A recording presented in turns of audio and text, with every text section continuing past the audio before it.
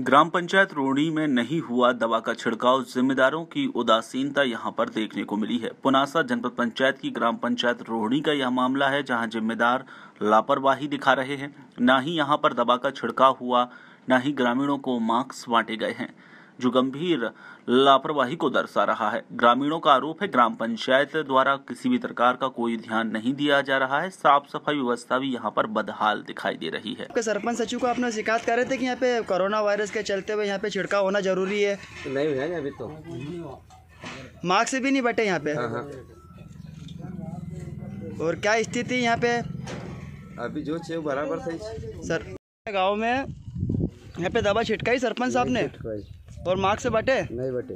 यहाँ पे दवाई भी नहीं छिटी और मार्क्स भी नहीं बटे? नहीं दवाई भी कर मकसद नहीं तुम्हारे सरपंच साहब आते हैं यहाँ पे या नहीं आते? अभी तो पंद्रह बीस रोज हो गए यहाँ पे तो यहाँ पे जो गंदगी है इसके बारे में सरपंच साहब को बताए थे नहीं बताए थे? बताया तो सब देखी हुए हैं सरपंच सबकी सचिव उनकी सबकी।